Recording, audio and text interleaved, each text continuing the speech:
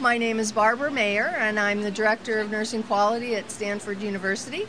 Yes, I used Lippincott procedures. I thought it was great. I really liked the fact that it was searchable, um, very easy to use, very intuitive. Uh-huh. Um, also, the fact that uh, part of my role in a previous job was as the policy and procedure queen. It made my life a whole lot easier not having to do all of that research myself and really can count on Lippincott to, to do that research on a regular basis and update those procedures and then push them out to, to our facility so that we always have the best and most current information.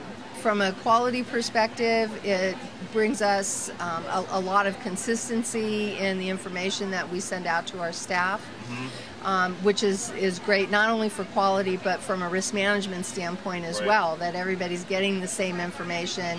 It is evidence based, and so it, you know, it's consistent. That's the, the most important thing that I can think of from a safety perspective.